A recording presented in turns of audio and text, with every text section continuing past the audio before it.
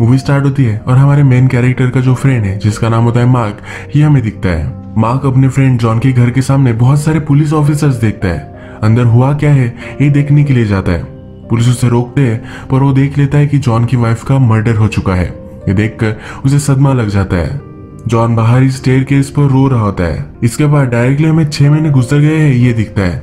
और जॉन अब इस मर्डर की इन्वेस्टिगेशन करने लग चुका है। पार्किंग लॉट में एक आदमी का वो वेट कर रहा होता है। यह आदमी जब उसे दिखता है तो उसे वो किडनैप कर लेता है। यहाँ पैरेलल में हमें दिखता है कि मार्क पर शक चला गया था कि जॉन की वाइफ को मार्क नहीं मारा है। इसी वजह से उसे अरेस्ट कर लिया गया था। इसकी आज हियरिंग है। मार्क की वाइफ, जिसका नाम होता है लिंडा, ये आज जॉन का वेट कर रही है, क्योंकि जॉन को लगता है कि मार्क ने मर्डर नहीं किया होगा। टेस्टिमोनी दे सकता है, इसीलिए उसका वेट करती है। पर हमें पता है कि जॉन ने अभी अभी एक आदमी को किडनैप किया है। लिंडा जॉन को कॉल करने का बहुत ट्राई करती है, पर जॉन का कॉल ही नहीं लगता। तो अपने लॉयर से कहती है, तुम जरा रुको, मैं जल्दी से जॉन के घर जाकर आती हूँ। लॉयर कहता है कि, ऐसा कुछ भी मत करो। हम उसे ज़बरदस्ती नहीं कर सकते टेस्टिमोनी देने के लिए। अगर हमने की तो कुछ ट्रबल हो सकता है, पर यह मानने नहीं वाली। ये डायरेक्टली जॉन के घर पर जाने के लिए रेडी हो जाती है। हमें फिर से जॉन दिखता है और जिस आदमी को उसने किडनैप किया था, उसके हाथ पैरों बाँध देता है। आदमी कहता है, कुछ मिसअंडरस्टैंडिंग हो गई होगी। मैंने कुछ भी नहीं किया है। प्लीज़ मुझे जाने दो। पर जॉन ये सब मानने वाला नहीं। जॉन कहता है कि अब मैं तुम्हें कुछ क्वेश्चंस पूछूँगा। उसे चॉइस देता है कि तुम्हें वैसे भी आंसर करना ही है। तो जल्दी से मुझे सब कुछ बता दो। ये आदमी कहता है कि मुझे तुम जो पूछ रहे हो, इसके बारे में कुछ भी पता नहीं है। जॉन उसे धमकाता है और कहता है, कुछ दिनों पहले तुम यहाँ आए थे। तुम क्यों यहाँ आए थे? ये आदमी कहता है कि यहाँ तो मर्डर हुआ था। मैं क्यूरियस था, इसलिए मैं देखने के लिए आया था। जॉन बोलता है, मर्डर हुए छह महीने हो चुके हैं। अब तुम्हें क्यों क्यूरियासिटी आई? आदमी बोलता है कि मेरी वाइफ ने मुझे अभी अभी बताया, इसलिए मैं देखने के लिए आया था। जॉन इस पर बिलीव नहीं करता, एक हथौड़ा लेता है और इस आदमी का पेड़ तोड़ देता है। ये सीन था मर्डर होने के बाद, छह महीने बाद का। अब हमें फिर से मर्डर होने के पाँच महीने बाद का सीन दिखाया जाता है। जॉन की वाइफ का मर्डर हुए हुए पाँच महीने हो चुके हैं, पर फिर भी जॉन अभी तक अपने घर पर नहीं गया है। वो होटल में ही रह रहा है। आज उसे पुलिस ने बुलवाया होता है। पुलिस का पूरा शर जॉन के फ्रेंड मार्क पर ही था, इसीलिए उन्होंने उसे अरेस्ट कर लिया है। अब इस केस को क्लोज कर देते हैं। जॉन की वाइफ के कपड़े वगैरह सब कुछ सामान उन्होंने एज ए एविडेंस ले लिया था। यही लेने के लिए वो जॉन को बुलाते हैं। जॉन डिस्टर्ब है क्योंकि उसे नहीं लगता कि उसकी फ्रेंड ने ये सब किया होगा। पुलिस स्टेशन में पुलिस इन्वेस्टिगेशन की फाइल्स वगैरह वो देखता है। ये डायरेक्टली वो उठा लेता है। पुलिस भी इसे ले जाने देते हैं, क्योंकि उनके पास और कुछ कॉपीज है। जब ये मॉडल में फिर से आता है, तब तो हमें दिखता है कि मार्क की वाइफ लिंडा वहाँ आती है। वो जॉन से बहुत दिनों से बात करना चाहती थी, पर जॉन उसे मिल ही नहीं रहा था। जॉन पहली बार लिंडा को अंदर आने के लिए मना कर रहा होता है, पर लिंडा फिर भी आ जाती है। लिंडा उसे कहती है कि मार्क ने एक अपील दी है, जिसमें वो कह रहा है कि उसने मर्डर नहीं किया है, इसकी फिर से हियरिंग होने वाली है। अबे जॉन से पूछ रही होती है, क्या तुम कोर्ट में कहोगे कि मार्क ये सब नहीं कर सकता? अगर जॉन ने सचमुच में कह दिया कि उसके फ्रेंड ने ये नहीं किया है तो शायद उसके फ्रेंड को कोई भी सजा नहीं होगी। लिंडा जॉन से कहती है कि क्या तुम्हें लगता है कि तुम्हारा फ्रेंड ये सब कर सकता है? जॉन कहता है कि मुझे कुछ भी पता नहीं है। जॉन को पता है कि उसके फ्रेंड ने नहीं किया होगा, पर रियल कल्प्रिट कौन है, इसे ढूंढना बहुत इंपॉर्टेंट है। जॉन कंफ्यूज है। उसे पता नहीं है कि ये कौन कर सकता है। लिंडा कहती है कि प्लीज़ आकर टेस्टिमोनी दे दो। पुलिस को मार्क का है। जॉन की वाइफ के पास मिला था। इसी वजह से पुलिस ने मार्क को फ्रेम कर दिया है। लिंडा रोने लग जाती है और कहती है कि प्लीज़ हमें हेल्प करो। जॉन ज़्यादा डिस्टर्ब हो जाता है और लिंडा को घर से बाहर निकाल देता है। जॉन पाँच महीने तक अपने घर नहीं गया था। जॉन अपने घर को फिर से देख नहीं सकता था। इसी वजह से पाँच महीने तक वो घर ही नहीं गया। उसके लैंडलॉर्ड का भी उसे कॉल आने लग जाता है और कुछ इश्यूज़ होने लग जाते हैं। इसी वजह से वो अपने घर में फिर से मूव इन कर लेता है। वो घर पहुँचता है, जिस तरह से चीज़ें थी, उस तरह से रख देता है। कुछ साफ़ सफ़ाई वो करने लग जाता है। ये जो सब हम देख रहे थे कि जॉन को पुलिस स्टेशन में बुलवाया गया था, वो अपने घर में फिर से मूव इन हो गया है। ये मर्डर होने के बाद पाँच महीने के बाद का सीन्स थे। इसके बाद हम फिर से मर्डर होने के बाद छह महीने के बाद का सीन्स देखते हैं, जिसमें जॉन ने एक आदमी को किडनैप कर लिया है। उसे लगता है कि यही कल्प्रिट है। जॉन ने अभी अभी इस आदमी का पेड़ तोड़ा है तो आदमी कहता है कि क्यों ये कर रहे हो? अगर तुम्हें लगता है कि सचमुच में मैंने ये मर्डर किया है तो पुलिस को तुम ये सब बता दो। तुम क्यों मुझे फ्रेम करना चाहते हो? हमें फिर से पास में ले जाया जाता है। इस सीन में हम देखते हैं कि जॉन और लिंडा इन दोनों को पुलिस ने बुलवाया है। इससे पहले मार्क को इन्होंने अरेस्ट कर लिया होता है। लिंडा पुलिस से पूछ रही होती है कि क्यों आपने मार्क को अरेस्ट किया है? उसे लग नहीं रहा होता कि मार्क ने मर्डर किया है। पुलिस कहते हैं कि मर्डर सीन पर मार्क का हेयर हमें मिला है। जॉन कहता है कि मार्क हमारे घर पर आता जाता रहता है। तो ये बहुत ही नॉर्मल है। पर पुलिस कहते हैं, तुम्हारे वाइफ के माउथ में हमें उसके हेयर्स मिले थे। इसका मतलब है, जब मर्डर हुआ था तो मार्क वही था। मर्डर नौ बजे हुआ था। मार्क कह रहा है कि उस वक्त वो अपने घर पर था। पर पुलिस को पता करने का कोई भी ज़रिया नहीं है, क्योंकि उस दिन बहुत ही बारिश हो रही थी। उन्होंने अगर सीसीटीवी कैमरेज भी चेक किए, फिर भी उन्हें कुछ भी नहीं मिलेगा। लिंडा उस दिन अपने सिस्टर के यहाँ गई थी। इसी वजह से मार्क घर पर था या नहीं, ये भी वो कंफर्म नहीं कर सकती। इसके बाद पुलिस जॉन को घर भेज देते हैं और उन्हें लिंडा से और भी कुछ बात करनी होती है। अब और भी कुछ एविडेंस पुलिस के पास है, ये सब लिंडा को समझाते हैं। पुलिस लिंडा को कहते हैं कि हमें लगता है मार्क और जॉन की वाइफ का दोनों का अफेयर चल रहा था। मार्क जॉन की वाइफ को कॉलेज से जानता था और इन दोनों का घर आसपास ही था। क्योंकि इन दोनों ने मिलकर डिसाइड किया था कि ये दोनों जरा आसपास रहने चाहिए। ये दोनों फैमिलीज़ एक दूसरे के अच्छे फ्रेंड्स थी। मार्क ने उसके बिज़नेस के लिए जॉन और उसकी वाइफ से पैसे भी लिए थे। पुलिस के पास मार्क और जॉन की वाइफ ये दोनों बहुत बातें करते थे। इसके भी रिकॉर्ड्स है। मर्डर सीन से जॉन की वाइफ का फ़ोन गायब था। इसका मतलब है, मार्क इसे कवर अप करना चाहता था। मार्क ने जॉन की वाइफ को एक मैसेज भी लिखा था। इस मैसेज में था कि प्लीज़ मेरी वाइफ को कुछ भी नहीं बताना। इन सबसे पुलिस ने कंफर्म किया था कि मार्क ने ही जॉन की वाइफ को मारा होगा। लिंडा को अभी ये सब पता चल चुका है तो डायरेक्टली मार्क के पास आती है। मार्क को सब पूछती है कि तुम वहाँ क्यों गए थे? मार्क कहता है कि हम दोनों का बहुत ही झगड़ा हो गया था। ये जो झगड़ा हुआ था यह भी जॉन की वाइफ की वजह से हुआ था, क्योंकि मार्क हमेशा उसके पास जाता रहता था। लिंडा भी शक करने लग गई थी कि मार्क का और जॉन की वाइफ का इन दोनों का अफेयर है। इसी चीज़ को लेकर मार्क और लिंडा का झगड़ा हो गया था। मार्क फ्रस्ट्रेटेड हो गया था और डायरेक्टली जॉन की वाइफ के पास आ गया था। उसकी अच्छी फ्रेंड थी तो उसे वो बात करना चाहता था। अब मार्क लिंडा से कहता है कि जब मैं जॉन की वाइफ के पास था, तब मुझे और एक आदमी दिखा था, जो डोर पर आया था। इस आदमी के बारे में उसने पुलिस को नहीं बताया है। अगर उसने पुलिस को यह सब कह दिया तो कंफर्म हो जाएगा कि मार्क जॉन की वाइफ के घर पर था, पर अभी तक ये कंफर्म नहीं है। इसके बाद हमें फिर से प्रेजेंट दिखाया जाता है। जॉन ने एक आदमी को किडनैप किया है। आज मार्क का कोर्ट था, जिसमें जॉन टेस्टिमोनी दे सकता था कि मार्क ने कुछ भी नहीं किया है, पर वो कभी आया ही नहीं। लिंडा जॉन के घर पर आ जाती है। वो अंदर आकर देखती है कि जॉन ने किसी को किडनैप कर लिया है। उससे पूछती है कि ये सब क्या है तो जॉन उसे सब कुछ सिचुएशन समझाता है।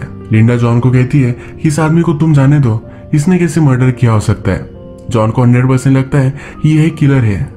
लिंडा फिर बोलती है कि अगर तुम्हें लगता है कि एक किलर हो सकता है तो तुम अब कोर्ट चलो। मार्क ने ये सब नहीं किया है, ये कोर्ट में बोल दो। जॉन अभी भी कंफ्यूज है। लिंडा से कहता है कि इसने अभी तक कंफर्म नहीं किया है कि उसने ही मेरी वाइफ को मारा था। जब तक जॉन को मालूम नहीं हो जाता कि किसने उसकी वाइफ का मर्डर किया था, तब तक तो वो कुछ भी करना नहीं चाहता। इसके बाद हमें फिर से पास दिखाया जाता है। जॉन अपनी वाइफ की मर्डर का इन्वेस्टिगेशन करने लग जाता है। क्राइम सीन की फ़ोटो उसके पास है। तो जिस तरीके से घर था, उसी तरीके से सब कुछ वो रिक्रिएट करता है।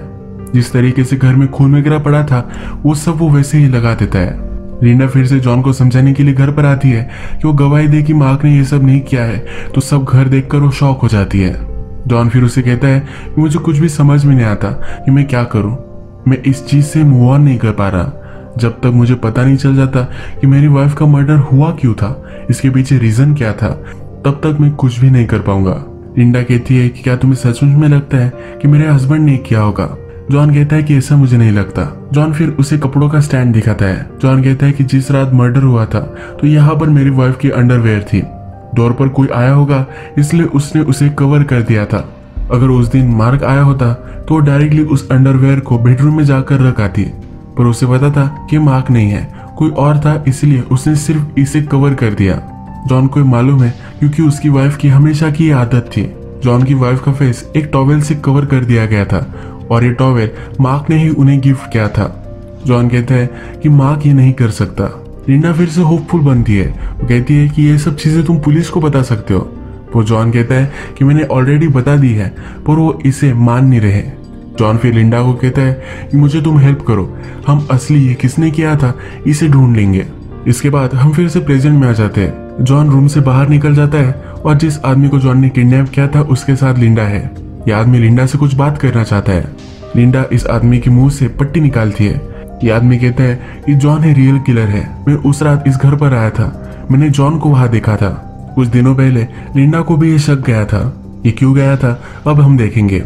लिंडा जॉन को हेल्प करने लग गई थी। रियल कातिल कौन है? इसे ढूँढने के लिए। एक दिन जब वो घर पर आए तो जॉन की वाइफ का सेलफोन वहाँ था। ये वही सेलफोन है जो पुलिस ढूंढ नहीं पा रहे। जब जॉन को उसने कन्फ्रंट किया तो जॉन बोला कि मेरी वाइफ की और मेरी बहुत सारी पर्सनल फ़ोटोज़ इसमें थी।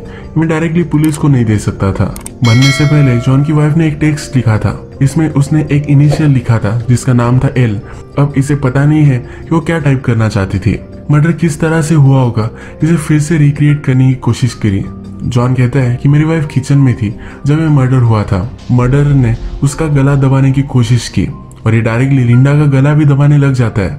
लिंडा बहुत ही डर जाती है और डोर की तरफ़ भागती है। जॉन कहता है कि मैं यही प्रूव करना चाहता था कि अगर तुम्हें कोई मार रहा है, तुम डायरेक्टली डोर के पास भागोगे। जॉन की वाइफ बेडरूम के पास भागी थी। उसे बहुत ही सस्पिशियस लगता है। पर अब यह सब जॉन ने जो किया है, ये देखकर लिंडा बहुत ही डर जाती है। लिंडा को शक होने लग गया था कि जॉन ने ये मर्डर किया होगा।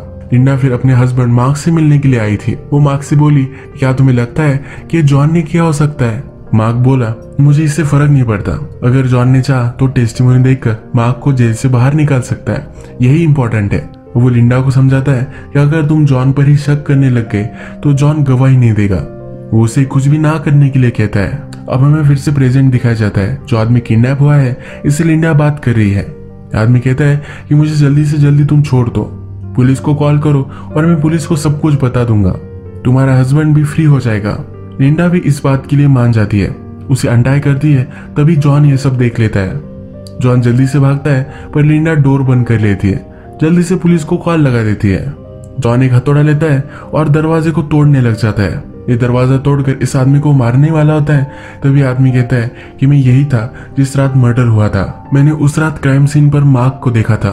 लिंडा कहती है कि ये झूठ बोल रहा है, यही असली किलर है। ये आदमी कहता है कि अगर मैं किलर हूँ तो ये मुझे क्यों बचाना चाहती थी? ये आदमी सच बता देता है, कहता है कि जब मैंने कहा कि तुम असली किलर हो, तब ये मुझे छोड़ने के लिए रेडी हो गई। लिंडा सिर्फ़ यही चाहती है कि उसका हस्बैंड फ्री हो जाए। इसके लिए वो कुछ भी करने के लिए रेडी है। जॉन पूछता है कि अगर सचमुच में यह सब सही है तो तुम मर्डर सीन पर चाकू लेकर क्या कर रहे थे? अब इस आदमी के पास चाकू था, ये जॉन को कैसे पता है? हमें फ्लैशबैक में पता चलता है। फ्लैशबैक स्टार्ट होता है और हमें दिखता है कि जॉन ने अब डिसाइड किया है। मार्क ने उसकी वाइफ को नहीं मारा है, ये वो कोर्ट में कहेगा। ये सब वाइफ के मदर एंड फादर को जब पता चला, वो जॉन के घर पर आए। उसे बहुत उन्होंने गालियाँ दी। वो यही मानते थे कि मार्क मर्डरर है और उसे सजा होनी चाहिए। जॉन का अभी भी फिक्स था कि मार्क के लिए वो गवाही देगा। पर जॉन जब रात में एक सुपर शॉप में गया तो इस शॉप का ओनर जॉन को जानता था। ये जॉन को बोला कि मेरे पास कुछ है तुम्हें दिखाने के लिए। जिस रात मर्डर हुआ था, एक आदमी वहाँ आया था और उसने एक नाइफ बाय की थी। इस आदमी की गाड़ी की नंबर प्लेट भी जॉन को मिल जाती है। ये सब इन्फॉर्मेशन उसने पुलिस को दी, पर पुलिस ने इसे इग्नोर कर दिया, क्योंकि मार्क के खिलाफ बहुत ज़्यादा सबूत है। जॉन ने फिर एक पुलिस ऑफिसर को बहुत सारे पैसे दिए इस पैसों के बदले में वो नंबर प्लेट किसकी थी यह इन्फॉर्मेशन जॉन ने निकलवाई। इसके बाद वो उस आदमी के पास गया और किडनैप कर कर लेकर आ गया। फिर से प्रेजेंट हम देखते हैं तो उस आदमी से माँ कब पूछ रहा है कि उस रात वो वहाँ क्या कर रहा था। उसके पास वो नाइफ क्यों थी? ये आदमी फिर सब कुछ कहने लग जाता है। ये आदमी कहता है कि मेरी वाइफ का और मार्क का चक्कर चल रहा था। मैं मार्क का ही पीछा कर रहा था। इसलिए मार्क को मारने के लिए मैंने नाइफ बाय की थी। मुझे उस दिन लगा था कि मार्क मेरी वाइफ के पास आएगा। मार्क जब उसके घर से बाहर निकला, तब से मैं उसका पीछा कर रहा था, पर वो डायरेक्टली तुम्हारी वाइफ के पास आया। मैं ऊपर गया और मैंने दरवाज़ा खटखटाया था। तभी मुझे वहाँ मार्क दिखा। मुझे लगा कि मार्क का और मेरी वाइफ का चक्कर नहीं चल रहा है, और उसके बाद मैं वहाँ से निकल गया। जॉन को अब हंड्रेड परसेंट लगता है कि उसने फ्रेंड ने ही किया है। लिंडा फिर से उसे समझाने लग जाती है कि मेरा हस्बैंड ये नहीं कर सकता। तभी हमें दिखता है कि वह पुलिस आ जाते हैं, क्योंकि लिंडा ने अभी अभी कॉल किया था। जॉन अब किसी की भी मानने नहीं वाला और वो डोर ओपन करने के लिए जा रहा होता है। उसे अब सब कुछ इन्फॉर्मेशन मिल चुकी है तो वो फिर से सोचने लग जाता है। वो सोचता है कि उस रात अगर मार्क आया था तो अंडरवेयर हॉल में ही क्यों थी? फ़ोन पर उसकी वाइफ जब मैसेज टाइप कर रही थी तो वहाँ एल लिखा हुआ था। इसके बाद जिस आदमी को उसने किडनैप किया था, उसने जब बोला कि ये सब जॉन ने किया है तो लिंडा क्यों उसे फ्रेम करना चाहती थी? तो वो फिगर आउट कर लेता है कि लिंडा ने ही ये सब किया होगा। लिंडा को शायद लगा था कि मार्क का और जॉन की वाइफ का अफेयर चल रहा है, इसलिए वो आई होगी। अब जॉन डोर ओपन करने ही वाला है, तभी हमें दिखता है कि जिस आदमी को उसने किडनैप किया था, उसे लिंडा मार देती है। चुन मार्क, और जो आदमी किडनैप हुआ था, उसकी वाइफ का अफेयर चल रहा था। ये चीज़ जॉन की वाइफ को पता चल गई थी, इसीलिए मार्क ने उसे कहा था कि प्लीज़ मेरी वाइफ को कुछ भी मत बताना। उस रात लिंडा से मार्क का झगड़ा हो गया था, इसीलिए वो जॉन की वाइफ के पास गया, क्योंकि उसकी अच्छी फ्रेंड थी। लिंडा भी मार्क का पीछा कर रही थी। वो भी मार्क का पीछा करते करते जॉन की वाइफ के घर पर आ गई। जब मार्क वहाँ से निकला तो वो घर में आई। उसने जॉन की वाइफ को कहा कि तुमने ये सब क्यों किया है? और उसके बाद उसे मारने लग गए। उसका गला दबाने की उसने कोशिश की, पर उसने रियलाइज़ किया, जो वो कर रही है गलत कर रही है। पर तब तक बहुत ही देर हो चुकी थी। जॉन की वाइफ डर गई थी। लिंडा पर क्रिमिनल चार्जर लग सकते थे, इसलिए लिंडा ने चाकू लिया और जॉन की वाइफ को उसने मार डाला। लिंडा ने जो आदमी किडनैप हुआ था, इसको भी अब मार डाला है। लिंडा जॉन को कहती है कि हम पुलिस को कह सकते हैं कि इसी आदमी ने मर्डर किया था। लिंडा गिड़गिड़ाने लग जाती है। वो कहती है कि मेरी बेटी है, मेरा हस्बैंड है। हम फिर से फैमिली बन सकते हैं। प्लीज़ हमें हेल्प करो। जॉन को पता है कि लिंडा ही मर्डरर है तो ये मानने नहीं वाला। जॉन आगे जा रहा होता है तो हथौड़े से अपने आप को ही मार डालती है। जिस हथौड़े से मर्डर हुआ था, और लिंडा ने भी अपने आप को मारा था, पर उस टाइम उसने अपने फिंगरप्रिंट्स उस हथौड़े पर नहीं आने दिए थे। हथौड़े पर जॉन के फिंगरप्रिंट से तो पुलिस को लगता है कि जॉन ने ही ये सब मर्डर किए थे। जॉन ने ही अपनी वाइफ का मर्डर किया होगा, ये पुलिस को लगता है, और इसलिए अब वो मार्क को छोड़ देते हैं। मार्क फिर अपनी बेटी को लेने के लिए जाता है। लिंडा की एक सिस्टर थी, जहाँ पर उसने अपनी बेटी को रखा था। लिंडा की सिस्टर लिंडा की सब कुछ चीज़ें मार्क को दे देती है। आगे चलकर जब ये सब चीज़ें वो देखता है तो लिंडा ने जिस मर्डर से जॉन की वाइफ को मारा था, ये मर्डर वेपन उसे मिल जाता है। लिंडा ने खुदकुशी करने की कोशिश की थी। वो हॉस्पिटल में थी और अब वो फिर से होश में आ चुकी है। जॉन पुलिस को कुछ भी नहीं कहता और ये सजा खुद काटता है। जॉन की फैमिली तो बर्बाद हो ही चुकी है। अपने फ्रेंड को एक चांस मिल सकता है अच्छी लाइफ जीने का, इसीलिए सब कुछ इल्ज़ाम वो अपने आप पर ले लेता है। यही मूवी एंड हो जाती है। फिर से मिलेंगे और एक नई मूवी के साथ। तब तक के लिए थैंक यू